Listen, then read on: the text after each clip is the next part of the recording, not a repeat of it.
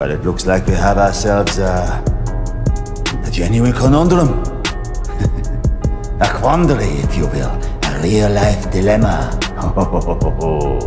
so, you want to kill him?